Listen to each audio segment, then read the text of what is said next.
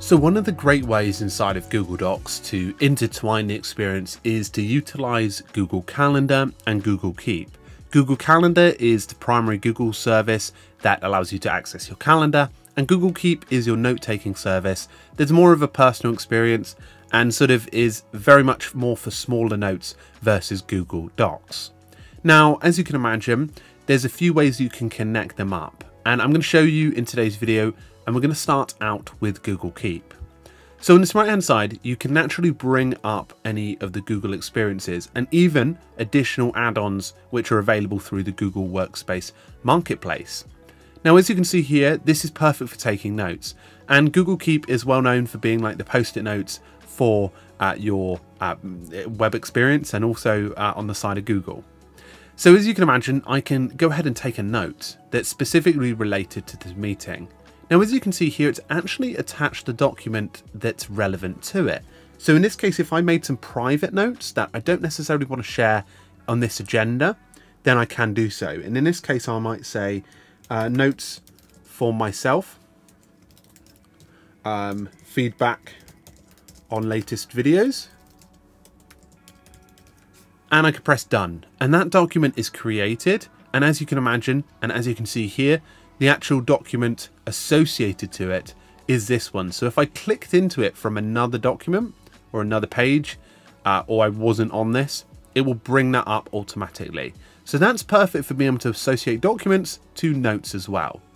Now, one of the other things you can do with the Google Keep is if you're referencing something like a um, employee number or maybe that's a bit too advanced bit of information, but just for this example, we'll show you, just add a random numbers in here. And you wanted to be able to save it as a note for later. If you right click, you can see down here that there's an option called save to keep. And as you can see here, that actual item is saved with the relevant document connected to it. So I could say here, employee number. Obviously, you might not want to save that sort of information into your Google Keep just because even though it's very secure, um, it might not be suitable or uh, you know example wise. It's just a, a, a demonstration.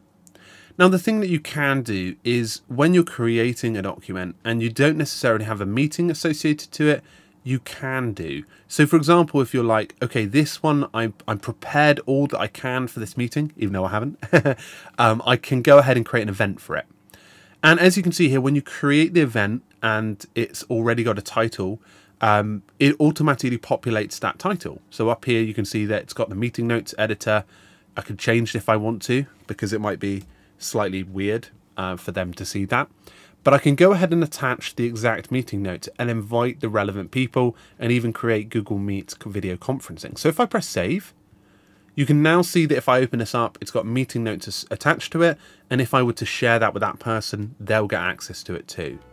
So it's really handy to be able to do that inside of the sort of Google uh, Calendar experience, sort of bringing everything together and making it all relevant. So that's a little bit about how you can use Google Keep and Google Calendar to really optimize your Google documents. And as you can imagine, uh, Google Workspace just makes that easier and easier. Thank you very much, folks. I hope you enjoyed today's video. Let me know if you have any questions or comments. And if you're new here, please do subscribe. We do plenty of videos covering all of the ecosystem. So feel free to subscribe to this YouTube channel. Thank you very much, folks.